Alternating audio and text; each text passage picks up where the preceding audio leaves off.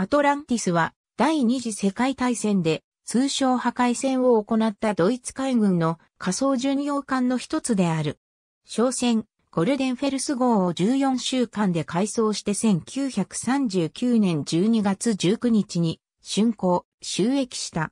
ドイツ海軍はアトランティスを軍艦16号と呼び、イギリス海軍は同船をレーダー C と名付けて警戒していた。アトランティス・アトランティスは、ベルンハルト・ロッゲ艦長指揮下に、ソ連や日本など中立国の国旗を掲げ、無警戒の敵国の商船を襲撃した。アトランティスの前身は1937年に建造されたハンザラインの7862トンの貨物船、ゴールデンファルズでドイツシアトル艦の航路に就航していた。14週間かけて仮想巡洋艦へと改造され、1939年12月19日にアトランティスとして収益した。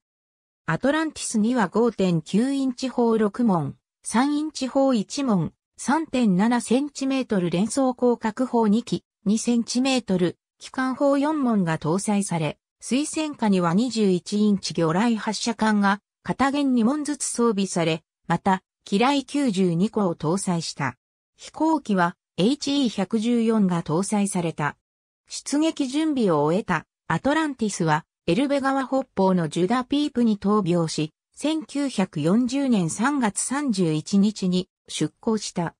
はじめはノルウェー船に偽装していたが、夜になるとソ連補助艦、キムへの偽装へと変えた。アトランティスは北極圏まで北上し、それからデンマーク海峡を通過して大西洋へと出た。4月17日、アトランティスは南大西洋のケープタウンフリーマントル間の航路へと向かうよう命じられた。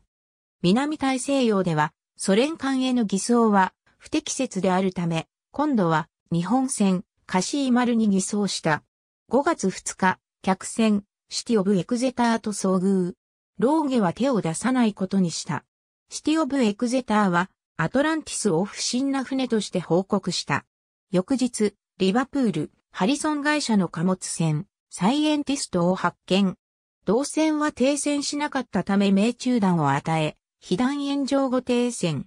サイエンティストは最終的に設置された爆薬及び砲撃と魚雷一本を持って沈められた。5月10から11日の夜、アトランティスは南アフリカのアガラス岬沖に機雷92個を敷設した。しかし、この機雷による戦果はなかった。その後、日本船に偽装したドイツの通商破壊艦の存在を警告する電信を傍受したことから、偽装対象はオランダ船、アベカークへと変更された。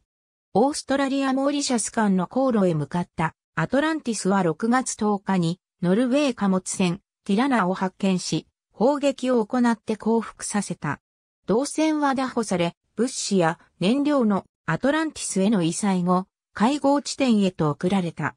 7月11日、エラーマンライン社のシティオブ・バグダードを発見。同船は爆薬が仕掛けられて沈められた。7月13日、イギリス船、ケメンダインを発見。接近した後砲撃を行い、被弾したケメンダインは降伏したものの、大砲を発射した他船員がいたため、アトランティス側も砲撃を再開することとなった。この発砲は、船長の命令が破損したパイプからの蒸気の噴出音で聞こえなかったことによるものであった。結局、大きな損害を受けたケメンダインは魚雷2本を使って沈められた。7月29日、アトランティスはティラナと合流。ティラナに捕虜を乗せて本国へ送るため、必要な燃料の移送などが行われた。8月2日、その場にノルウェーのウィルヘルム線ライン社のタリーランドが現れ、砲戦の後、タリーランドは停戦。拿捕するか検討されたが、搭載燃料が少なかったことから爆薬によって沈められた。8月5日、捕虜を乗せたティラナはアトランティスと別れ大西洋へ向かった。ティラナはフランスまでたどり着くも、護衛の総海底を待っていた時に、イギリス潜水艦、ツナによって沈められた。8月25日夜、モーリシャス・ロドリゲス艦で、リアダンス・ミスライン社の貨物船、キングシティを発見。動線は故障のため停戦し、その動きを不審に感じたローゲは奇襲攻撃することに決め、まず魚雷を発射したが外れた。続いて砲撃が行われ、キングシティは被弾炎上した。そこに至って相手は普通の商船であると判明し、生存者の収容後、砲撃によってキングシティは沈められた。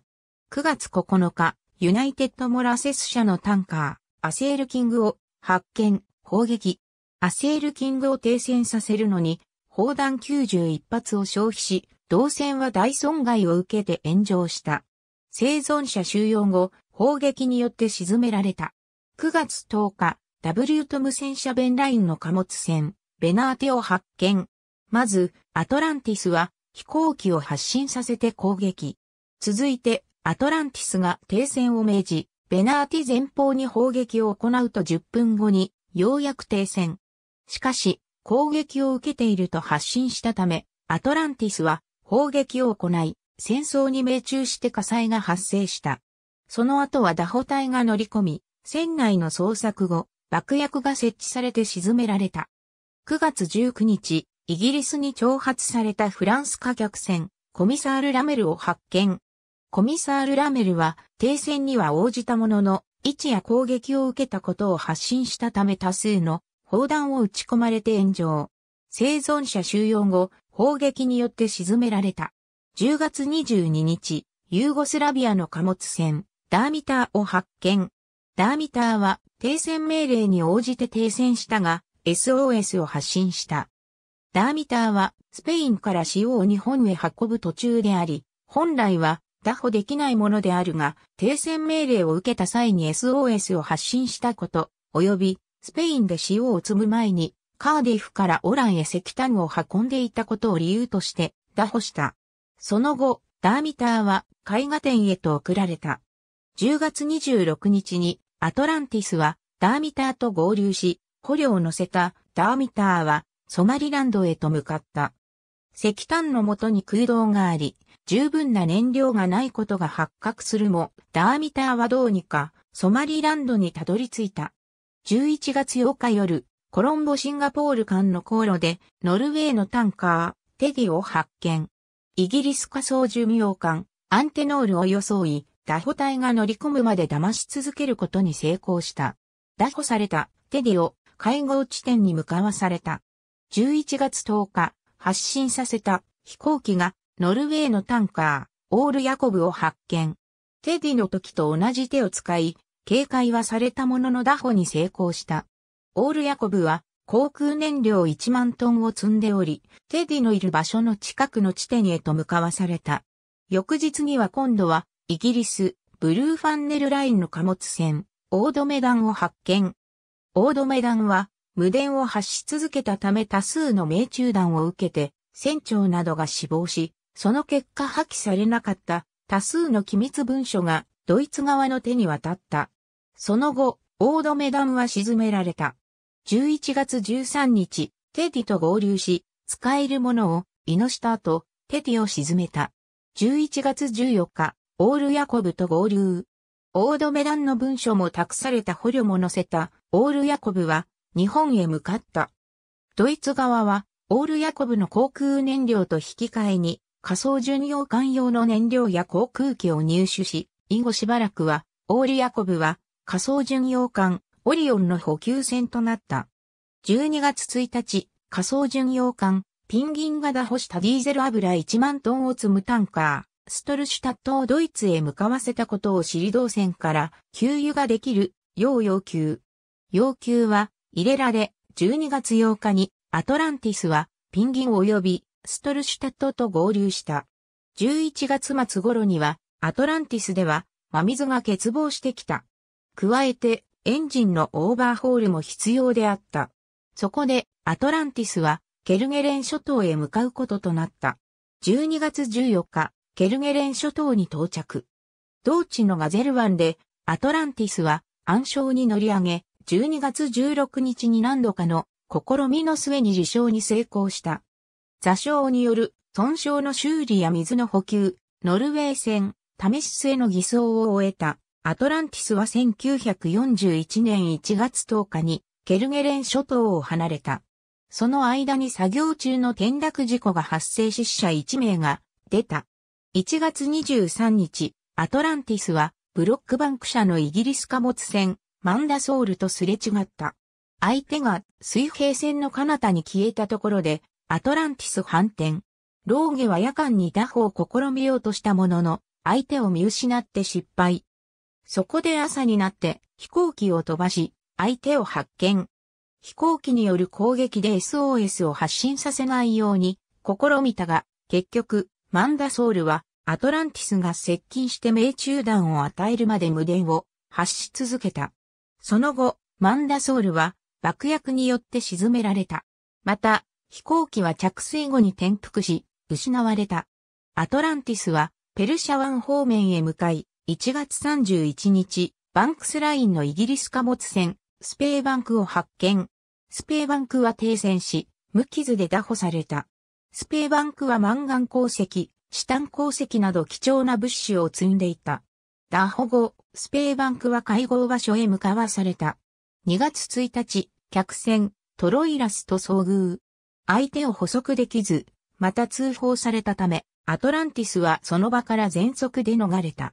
この時、近くには空母、フォーミダブルや巡洋艦、ホーキンスがいた。2月2日、ノルウェーのタンカー、ケティ・ボルビクを打破。ケティ・ボルビクは、非武装で抵抗もなく、無電も発しなかった。ケティ・ボルビクは、砲撃で損傷した蒸気管の修理後、会合場所へ向かわされた。この後、アトランティスは、ドイツの補給船、タンネンフェルス及びイタリア潜水艦、ペルラとの会合を命じられた。2月8日、スペーバンクと合流し、物資の移送を行った。2月10日、タンネンフェルスと合流。同船には、ダーミターに乗り組んでいた者たちが乗っていた。翌日には、ケティボルビクも合流。各船間で人の移動や物のやり取りが行われた。2月14日、アドミラルシェアが合流。アドミラルシェアには、ケティボルビクから給油が行われた。また、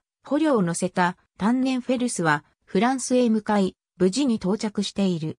アドミラルシェアと別れた後は、スペーバンクも使って敵船を捜索したが、発見したのが日本船であったりで、戦果はなかった。その後、アドミラルシェアが打破した船である、ブリティッシュアドボケートと合流し、同船は補給後フランスへ向かわされた。また、3月21日にはスペーバンクと合流し、同船もヨーロッパへ向かい、無事にボルドーに到着した。続いて、イタリア潜水艦ペルラと合流し、燃料や食料などを補給した。4月、アトランティスは南大西洋へ向かった。生鮮食料品の補給を受けることになっていたロイド社のドレスデンと合流したが、別の船向けだとしてアトランティスは受け取れなかった。4月17日、アトランティスはエジプトの貨客船ザムザムを沈めた。この船には多数のアメリカ人が乗っており、ローゲはルシタニア撃沈の時のようにならないように努めた。ザムザムの乗客はその後、ドレスデンに移され、同船は無事にフランスに着いた。アトランティスは補給船アルスターウーファーから飛行機を含む補給品を受け取り、また、オランダ船、ブラスタギへの偽装を行った。5月4日、アトランティス支援のため派遣された船、バビトンガと会合。5月14日、ケープタウンフリータウン間の航路で、イギリス船、ラバウルを発見。逃走しようとしたため砲撃し沈めた。5月17日から18日の夜には、イギリス戦艦、ネルソン、空母、イーグルと遭遇した。また、数日後にはギリシャ船マスターエリアス・クルクンディスを臨検した。5月24日、グレン社のイギリス貨物船トラファルガーを発見。アトランティスの砲撃で炎上し、魚雷で沈めようとしたが不具合のせいか2発外れ、3発目で沈めることができた。6月17日、イギリス船トテンハムを撃沈。6月22日イギリス船バルザックを沈めた。バルザックが停止するまでに、アトランティスは192発を発射したが、命中は4発であった。7月、仮想巡洋艦、オリオンと会合し、オリオンへの燃料補給を行った。アトランティスはインド洋を経て太平洋へ向かうよう命じられ、オーストラリアの南を通って太平洋へと入った。9月10日、ケルマディック諸島東方で、シューデーアイツェン社のノルウェー貨物船、シルバプラナオダホ。シルバプラナは停戦命令に従い、攻撃は行われなかった。アトランティスは、ツバイ島で、シルバプラナからバラスト用の生ゴムを、イノシ、その後、シルバプラナを会合場所へ向かわせた。続いて補給船、ミュンスターランド及び仮想巡洋艦、コメートと合流し、補給を受けた。また、シルバプラナはフランスへ向かわされた。12月29日にホーン岬を回り、それから潜水艦 U68 に対する燃料補給を行った。続いて潜水艦 U126 との会合地点へ向かった。11月21日 U126 と会合。U126 への給油中、出現したイギリス巡洋艦、ドーセットシャーからの攻撃を受け、アトランティスは自沈。沈没一致は、波4度20分、整形18度35分。7名が行方不明となった。ドーセット社が去った後、生存者の乗ったボート群を U126 が栄光し、その後生存者は補給船、ピトンに収容された。そのピトンも U ボートへの補給中に沈められたが、生存者はボートに乗って栄光されたり、潜水艦に収容されてヨーロッパへ帰還することができた。ありがとうございます。